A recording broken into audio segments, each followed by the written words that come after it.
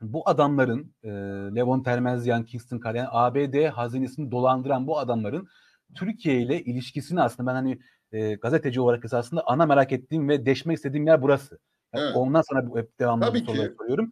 Yani Benim mesela ben abi sen bana işte eğer doğru değilse doğru değil dersin ama araştırdığıma göre e, bu adamlar yakalanmadan önce e, Türkiye'ye gelmek istiyorlar. Hatta uçağa biniyorlar. Tabii tabii yakalan kaçarken yakalanıyor. Evet, evet uçakta e, o iki kardeşten birisi biraz geç kalıyor. İzi o aldı. sırada da e, FBI operasyon, operasyon çekiyor ve uçakta adam, adamlar Türkiye'ye ka- e, kaçacakken diyeyim e, uçakta operasyona uğruyorlar ve yakalanıyorlar. Doğru. O gün bu adamların hikayesi bitiyor. Yani mesela evet. niye Türkiye? Yani niye Türkiye'ye gelmek istiyor bu adamlar? Ya Orası Türkiye'de hiç... ciddi bir yatırım yaptılar. Yani onun dışında şöyle bir şey. Ciddi bir yatırım yaparken Türkiye üzerinde de başka yerlere de iş yapıyorlar. Şimdi oradaki kilit soru şu olmalı. Ya şimdi Kars Digor'dan gelen Sezgin Baran Korkmaz Amerika'da CIA'nin eski direktörü James Wolsey ile resimleri var. Ya hayırdır arkadaş yani şimdi ayakkabı boyacılığından diyorsun adam CIA'nin eski direktörü James Wolsey ile masaya oturuyor. Artı Trump'ın Trump'ın eski güvenlik danışmanı Fly'in kankası kim? Bunlara Ekim Altekin. Türk-Amerikan İş Konseyi Başkanlığı yapan Ekim Altekin, Mevlüt Çavuşoğlu, Berat Albayrak, Sezgin Baran Korkmaz. Bunlar Fly'nin oğlu Mike Fly, e, James Walls'u bir araya geliyorlar. Yemek yiyorlar. Yani darbeden 3 ay sonra. Yani Temmuz, Ağustos, Eylül, Ekim ayında. Ve Amerika'da, New York'ta ve Washington'da iki kez bir araya geliyorlar. Ve teknik takibe düşüyor bunlar. Ekim Alptekin sonra kanlı bıçaklı oldu. Sezgin Baran Korkmaz'la onun şirketleriyle ilgili olarak. Fakat daha düne kadar Jacob Kingston'ın mega varlığında Ekim Alptekin'in hissesi vardı. Yüzde 0.1'lik hissesi vardı ve yönetim kurulundaydı. Şimdi Korkmaz Karaca denilen bir adam vardı. Kim evet. Cumhurbaşkanlığının danışmanı. Bu adamın arabasına kadar Sezgin Baran Korkmaz. Yani diyorsun ki bu bağlantıları nasıl kurmuş? Ya, Berat Albayrak'la bağlantıyı kurarken Korkmaz Karaca Cumhurbaşkanı ile görürken Cumhurbaşkanı danışmanı Korkmaz Karaca organize ediyor. Yani daha sonra bunlar istifa etti biliyorsun Taranoğlu'yla birlikte. Ve bu adamlara bakıyorsun e, hatta bunu dedi ya Korkmaz Karaca kendi söyledi ağzıyla söyledi açıklamasında. Evet ben İstanbul'a geldiğim zaman arabalarım SBK Holding tarafından tahsis, tahsil, e, tahsis ediyorlardı. Benim birçok şeyle e, yakıt parasını ben ödüyordum ama e, arabayı kullanıyordum. Bunlarla akçeli işleri de var. Yani devletin kademelerinde e, birçok yerde iki, ikili ilişkileri var bu insanlar. Ben Sezgin Baran Korkmaz'la bir Amerika'da karşılaştım. Trump Tower'daki Türk Amerikan İş Konseyi'ne 70 milyon e, 70 bin dolar sponsor oldu. Orada her yerde SBK Holding yazıyor. Bütün Trump Tower nerede? Lan kim bunlar dedim. Orada tanıştım. Merhaba ben Recep Can Polat dedim. Merhaba ben Sezgin Baran Korkmaz. E, memnun oldum dedim. Ben seni tanıyorum dedim. Mansimov'la ilgili haber yaptığından dolayı dedi gazeteci olarak. E, orada tanıştım. Bir kere de e, Sezgin Baran Korkmaz'ın makamına gittim. Makamı dedim bu e, şeydi karşıda Anadolu yakasında e, sahilde bir yeri var. Büyük bir yalısı var. Yalıda oturdum. Mansimov'la ilgili ki yarın Sezgin Baran Korkmaz Türkiye'ye geldiği zaman bizi yalanlayacağını zannetmiyorum. O net bir şekilde de söyleyebilir. Orada karşılaştım. Onun dışında en az bir 15 kez telefonla görüşmüşümdür çünkü. Ama şu çok önemli. Şimdi burada Sezgin Baran Korkmaz birileriyle iş yapıyor. İşte İnan Kıraç'ta iş yapıyor. Kıraca Holding'in hisselerine talip oluyor. İşte Silkolux hisselerini alıyor Nahum kardeşlerden.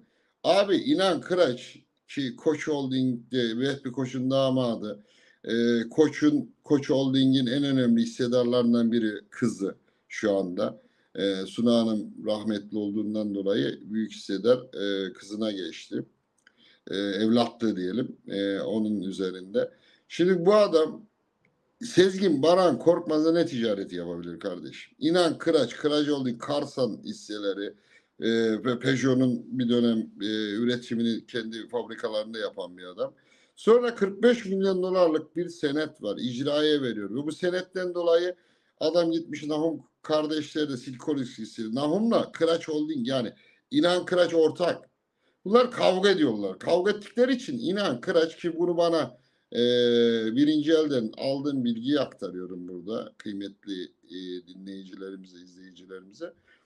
İnan Kıraç diyor ki Sezgin Baran Korkmaz'ı Nahum kardeşlerden diyor hisseleri al ben sana diyor 100 milyon dolar para vereceğim. Girin Google'a. Google'da bir tarama yapsın. Silkolux hisselerinin dışında Hexagon diye bir şirket daha var. Satın alıyorlar 26.58'ine. Aldıkları ay, 28.56 pardon düzeltiyorum. Aldıkları zaman Kıraca Holding 82 milyon dolar yazar. Yani Sezgin de söyle 82 milyon dolar. Hayır 82 milyon dolar almadılar. Onu 55 mi 60 milyon dolar civarında bir rakam aldılar. Bu parayı ödemiyor. Hem onu veriyor hem 40 milyon dolarlık da 40-45 milyon dolarlık da senet var. Bu senedi inan Kıraç vermiş. Sen al ben e, sana 100 milyon dolara ve bunun üzerine bir mektup yazıyor. Bu işin içinde Yiğit Bulut da var. Yiğit Bulut mektup yazdırıyor. E, Mustafa Levent Göktaş var. Kime? Cumhurbaşkanı. Cumhurbaşkanı o mektubu okuduktan sonra Soylu'ya gönderin diyor. Özel kalem kanalına Soylu'ya gidiyor. Soylu e, geçen günlerde görevden alınan Horoğlu. Ne Horoğlu'ydu? Emniyet Genel Müdür Yardımcısı. Bu geçen gün görevden alınan Soylu'nun ekibinden Resul Oroğlu. O telefon ediyor. Sezgin Baran Korkmaz diyor ki İçişleri Bakanımız seni de bekliyor diyor. Adam İstanbul'dan Ankara'ya giriyor. Ve Sedat Peker'in de şifre ettiği hadiseyi ben biliyordum zaten. Daha öncesinden bunu e, paylaşmıştım ben. E, çünkü birebir olarak e, hem Sezgin Baran Korkmaz'dan öğrenmiştim. Giriyor, çağırıyor, Silkolux hisseleri devret diyor. O da diyor ki Sezgin Baran Korkmaz, Süleyman Soylu'ya makamında oluyor. Bu bir tahsilatçılıktır. tahsilatçılıktır. Hem Resul Horoğlu, emni, organizeden sorumlu e, Emniyet Genel Müdür Yardımcısı, hem Süleyman Soylu Yüce Divan'da yargılanmalıdır. İki tane iş insanı arasındaki ticari ilişkide tahsilatçılık yapamazsın. Paradan vazgeçeceksin diyor ya. İndireceksin diyor ya. Bunu diye Süleyman Soylu İçişleri Bakanı mevcut o dönemin İçişleri Bakanı. Diyemezsin kardeşim. Sen İçişleri Bakanı değil Allemi Cihan olsan iki iş adamı olarak oturduğun koltuğu kullanarak tahsilatçılık yapamazsın. Ya şimdi orada Sezgin Baran Korkmaz'a çöküyor bir anlamda Süleyman Soylu. Ve adam da Silkolux hisselerini bila bedel veriyor. Ha bu pekala Utah'ta ne olacak dediğin zaman Ferit, Utah'ta eğer 134 milyon doları tamamlayamazsa Sezgin Baran Korkmaz, inan Kırac'ın bütün mal varlığını el koyar Amerikan hazinesi. Gel bakayım o diyor, seni ona verdiğin parayla satın aldığı para bizim hazineden getirilen para. Sezgin Baran Korkmaz alnı teriyle kazanmadı. Kredi adı altında aktarılan para. Diyecek ki getir bakayım inan Kıraç. Bila bedel aldığına benzemez bu iş. İnan Kırac'ın da Süleyman Soylu'nun da ismi geçecek. Ama burada yargılanma süreci değil. Onu Türk adaletinin yapması lazım. Amerikan adaleti yapmayacak. Türkiye'deki yani Sezgin Baran Korkmaz'ın Türkiye'deki yargılanma sürecinden de e, hani bir anlamda iddialara göre diyeyim e, kaçması yani Avusturya'ya e, gönderilmesi anlamında da e, yine Süleyman Soylu'nun ve cezası yok ki sevgili Yani de- Ferit. demin bahsettiğim. Resul beş Resuloğlu'nun e, Yatarı yok ya. Hı. Resul Ama işte- görüştürmüyoruz. Evet Resuloğlu o yani kaç e, e, Sezgin deyip e, ona bir yol vermişler. Onu yani. bilmiyorum. Onunla Böyle ilgili bana var. bir ona, onu bilmiyorum. O, onun dedikodusu var. Ama çirkin olan, kirli olan İçişleri Bakanı iki ticaret erbabı arasındaki tahsil alacak verecek mevzusuna İçişleri Bakanı müdahale edemez. Yiğit Bulut var. Yiğit Bulut sen bunun neresindesin evladım? Ekonomistsin lan bu ekonomi senin yüzünden oldu zaman diyorum. Çünkü Tayyip Erdoğan'ın danışmanlarından e, Tayyip Bey diyorum bu Yiğit Bulut da ne danışıyor acaba diyorum ya. Adam diyordu ya 3, 3 dolar 3 lira yetin yüzüme tükürün diyordu. Yani bunlar nasıl insanlar arkadaş? Ahlak yok yani edep yok, haya yok. Ya sen Cumhurbaşkanının danışmanısın şey diyorsun ki e, Mustafa Levent Göktaş'a biliyorsun Abdülhamitoğlu cinayetinde de yargılanan e, arkadaş eski MAK komutanı. Şimdi e, İnan Kırac'ın da daha şey avukatı. İnan Kıraç'a bir mektup yazın Cumhurbaşkanı'na. Yiğit Bulut senin işin mi kardeşim? Biri çıksa dese ki Yiğit Bulut bu işten kaç lira para aldın dese. sorsa nasıl cevap vereceksin Yiğit Bulut? Bugün Cumhurbaşkanı danışmanlığı yapıyorsun ekonomi danışmanlığı. Biri çıksa dese ki bu mektubu yazdırıyorsun. Bu mektubu yazdıran sensin. Fikri veren sensin. Biri de çıkar derse Yiğit Bulut bu işten para aldın mı kardeşim? Akçel işe girdin mi kardeşim? Diye sormaz mı? Sormasa bile aklından geçirir.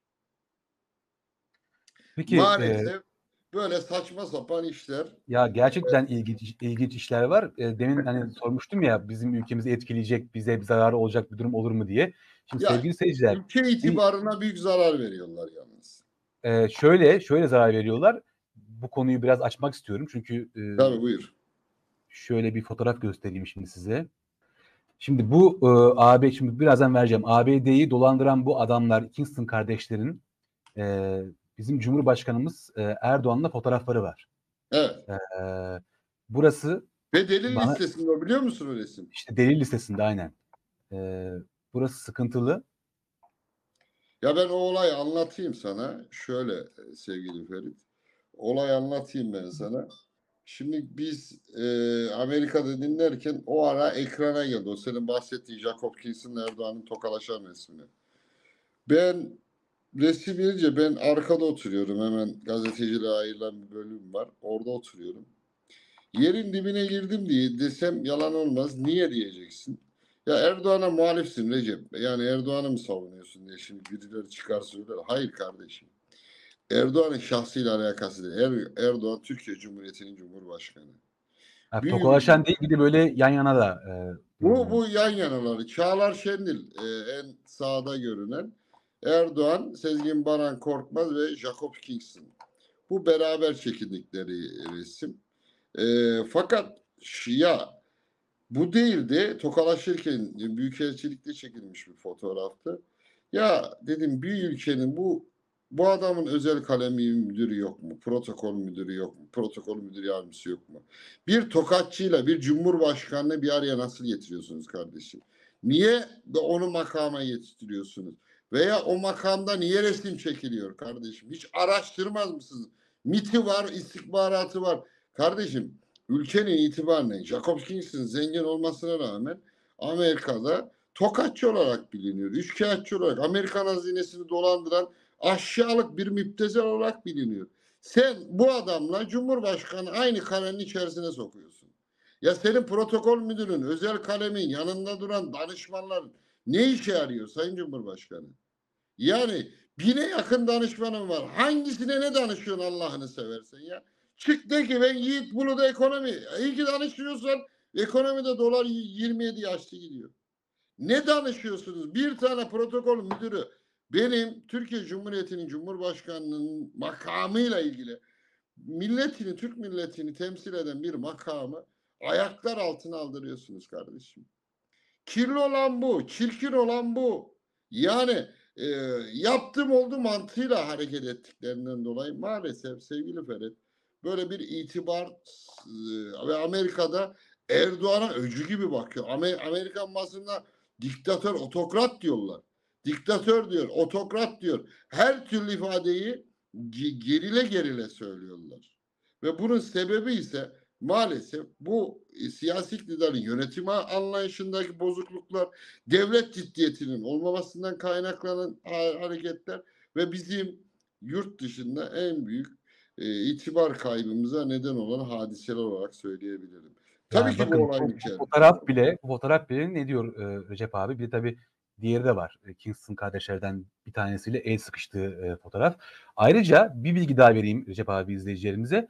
E, sevgili seyirciler bu Kingston kardeşler Leon e, Termezyan ve bu yani ABD'yi dolandıran bu üç isim Türkiye'ye daha önce zaten gel- geldiler ve e, Recep abi bildiğime göre e, polis eskortlarıyla da bir karşılanma, Tabii. bir koruma durumları da oldu. Krallar gibi de karşılandılar. VIP'den çıkartıyorlar, eskort arabalarla otellere götürüyorlar. Ya korkunç şeyler oluyor. Yani devletin gücünü e, sorumsuzca kullanılan bir zihniyet. Ya adam Cumhurbaşkanı da yar, danışmanının e, arabasını veriyor kardeşim. Yanında e, şey gibi gezdiriyor. Cumhurbaşkanlığının danışmanlarını kendi yanlarında e, yanaşma memuru gibi ge- gezdiriyorlar. Ya böyle bir yapının içerisinde ülkenin itibarını ayaklar altına alınan bir zihniyet. Yani bunun sebebi ise buna sebep olanlar devletten maaş alıp devletin ben Cumhurbaşkanına kızıyorum arkadaş. Bu adamlarda ne buldun Sayın Cumhurbaşkanı? Aldın getirdin bu adamları oturtturdun Cumhurbaşkanı danışman olarak işte e, Levon en soldaki İzya ortadaki ise Jacob Kingston. Evet. Yani Kim Bunları bu adamlar derseniz sevgili seyirciler işte şu anda ekrana verdim. Isaac Kingston işte sol tarafta Jacobs'un küçük kardeşi yanında çalışıyor. E, Wasabi e, yenilebilir enerji rafinerisinin muhasebe departmanına bakıyor. Japo, Jacob Kingston yönetim kurulunun başkanı. E, bu şirketin sahibi. Ye, bu sakallı olan arkadaş da e, Levon Tervezciyan, Lev Aslan Dermen ismini alarak Türkiye'de de Türk vatandaşı olan Amerikan vatandaşı, Ermeni vatandaşı aynı zamanda da Ermeni diasporasına e, maddi destek sağlayan bir adam. Aynı zamanda bu yavru e, diyor ya bir Ermeni çalıştırmadım hayatım boyunca dediği Mubariz Gurbanoğlu'nun Azerbaycanlı Mubariz Gurbanoğlu'nun ortağı. E, bunun belgelerini de ben yayınladım zaten. Böyle bir yapı kimin ne kimin kimin eli kimin cebinde belli değil. Ferit öyle bir kirli bir yapı var ki o olayın içerisinde. işte ben sana. Onların içinde Sezgin Baran Korkmaz yunmuş yıkanmış gibi geliyor. Yani bazıları görünce. Evet. ulan temiz dedim. Sezgin Baran Korkmaz bunların içinde en saf o zaman en temizi gibi görünüyor yani düşün. Ben o sana sor- noktanın içerisinde. Evet abi Sezgin Baran Korkmaz bunların, bunların yanında temiz kalır gerçekten. Şey ben sana sormuştum ya ben bu adamların Türkiye ile bağlantısını e, öğrenmek istiyorum, deşmek istiyorum. Çok da güzel bana abi bilgiler verdin bu akşam. E, mesela bu sevgili seyirciler en bana göre sağdaki, size göre soldaki sakallı olan e, Levon Termezyan e, Türk vatandaşı da oluyor. Bakın ya bunlar tesadüf mü? E, şeyin söylediği gibi e, konuğumun e, Recep abinin e, Aslan Dermen Lev Aslan Aslan, Dermen- Dermen. Aslan Dermen adını oluyor ve Türk vatandaşı oluyor. Ayrıca bu, bu üçlünün de ABD'den de bir anlamda kaçmak için e, 2018 yılı olması lazım abi eğer doğru hatırlıyorsam. 2018 FBI operasyonu 2018 yılında aynen e, uçağa binip Türkiye'ye bunlar e, gelmeye, yani Türkiye'ye Kimin gelmeye- uçağına? Kimin uçağı? Bora Jet'in uçağına. Bak işte. Bora Jet'i biliyorsun. Yalçın Ayaslı'nın o Utah'ta giden uçak. Bora Jet'in uçağı. Onunla kaçmak isterken geliyorlar. Bakın. Bu çok önemli. Örneğin Yalçın Ayaslı'nın ki e, Boston'da yaşıyor. e, bir Türk Amerikan vatandaşı. E, Kaliforniya'da da bir davası var. Sezgin Baran Korkmaz'ın Bora Jet'in e, nitelikli dolandırıcılık adı altında Rico davası diyorlar ama tam Rico'ya dönüp dönmediğini bilmiyorum. O konuda bir yorum yapamayacağım ama Yalçın Ayaslı'nın da bir davası var. Kaliforniya, New Jersey'de bir dava açıldı. Pardon, New Hampshire'de bir dava açıldı. Usulde hata olduğu için o dava düştü zannediyorum. Ee, şu anda Kaliforniya'da Sezgin Baran Korkmaz aleyhinde bir davada Kaliforniya'da e, başladı. O, onun detayından pek haberim yok ama Yalçın Ayaslı da bu konuda e, ciddi bir şekilde e, gidiyor. Hatta Türkiye'de e, bugün Timur Soykan yazmıştı e, şeyle ilgili. E, örneğin kendi avukatı Yalçın Ayaslı'yı dolandırıyor. Düşünebiliyor musun? Kendi binaları var Yalçın Ayaslı'nın burada. E, şeyde Boğaz'da villaları var, bilmem neleri var. Yalıları var. E, ki 50 milyon dolarlık binaya el koyuyor. Kendi avukatı yapıyor bunu. E, yine bir varlık fonu üzerinden e, garanti koydu. E, Bora Jet'in satışında süzüyor ki genel müdürlerinden biri Amerika'ya kaçtı. Yani Yalçın Ayaslı'yla iş yapan avukatından tut, şimdiki avukatını demiyorum. E, şeyine kadar herkes dolandırmış adamı. E, bir de Ya e, abi Türkiye'de Evet. gazeteciler çıktı adama FETÖ'cü dediler. Bilmem neci dediler. Adam Türkiye'ye gelemedi ya. Adamın en kötü 300-400 milyon dolarlık da orada bir malı e, haraç meza satıldı yani maalesef. Yani ben abi şunu e, tam olarak hani dediğim gibi bir şeyler çevriliyor, bir şeyler dönüyor ve bunun sonunda hani yayın başlığımıza da uygun şekilde bir soru sorayım. Bunların bedeli Türkiye'ye çok ağır şekilde yani Türkiye derken aslında hepimize yani bize yani bugünkü siyasetçilerin bunlarla işbirliği olabilir. Rıza Zarrab işte ABD'de itiraf etti. E, bir bakana e, milyon dolarlık e, rüşvet Rüşvet. verdiğini, rüşvet verdiğini, işte Sezgin Baran Korkmaz'ın durumu ortada bakalım ne olacak. Yani şu ana kadar bir itiraf durum yok ama bakalım ne olacak ileride. Her şeye gebe olaylar. Bakın gördüğünüz Tabii. fo- fotoğrafları. Ayrıca bu isimler nasıl Türk vatandaşlığına geçirildi? Bak burası önemli sorular. Yani bu üç tane dolandırıcının bir tanesi Ermeni olan Levon Der, e, Termezyan nasıl Türk vatandaşlığına geçirildi? Hatta daha da ileri gideyim e, abi. Bir de bu hani e, Batır Rahimov vardı Özbek e, mafyası. E, o da Paramount Oteli ele geçirin. e, o da iddialara göre, iddialara göre diyeyim yani yine Erdoğan'ın da önermesiyle e, Türk vatandaşı olduğu e, iddia edilmişti. Doğru. Yani e, Cumhurbaşkanı da sö- söylüyor yani, teklif ediyor yani. Gel sen Türk, Türk vatandaşı ol diye. İşte de- senin demin dediğin gibi Mü- Mübariz Mansumov da var. O da öyle. Bunlar hep böyle hükümetle işbirliği olan ya da hükümetin e, nasıl doğru e, kelimeyi Akçeli kullanayım? kişilerle alakası Bir- olan. bir derin devlet mekanizmasının da aslında iletişim kurduğu adamlar bunlar. Yani Türk Türk Türk yani hükümetin de arka, arka kapıdaki işlerini yapan bazı tiplerinde iletişimde olduğu kişiler ki gerçekten ya bunu artık herkes biliyor. Fotoğrafları, görüntüleri var. Mübariz Mansumov'la Mehmet Ağar'ın e, hatırla abi. Yani o kutlamaları, mutlamaları falan Beraber filan. ya, ortak iş yapıyorlar. Ee, sanat sanatçılar da orada işte beraber. Paramount Otel'in açılışını hatırlayın. Oysa ki arkasında e, bir çökme hikayesi varmış. Onu da biz çıkartmıştık işte Zanka TV olarak yani. Ee, gerçi o olay da sonra bilmiyorum. Onu da e, araştırmak lazım ama en azından e, olayı olayları bir yere getirmiştik biz Zanka TV olarak. Yani sonuç olarak şu abi yani bu bütün bunların hepsinin e, sevgili seyirciler Türkiye'ye bedeli derken bize bedeli. Yani bu ABD daha önce e, atıyorum mesela İran yaptırımlarının denmekten dolayı birçok Avrupa ülkesine acımadı. Yani bak acımıyorlar yani cezayı kesiyorlar. Ve Avrupa ülkeleri ödeyebilir. Mesela Fransa'ya, Almanya bunlar ödeyebilir ama 9,5 Türkiye- milyar Paribas'a 9,5 milyar dolar ceza kestiler. Takırt aldılar. Yani Aldılar. sadece P- PNP Paribas'a 9,5 milyar dolar kestiler 2014'te. Yani Deutsche Bank'a kestiler 2,5 milyar dolar. bak bak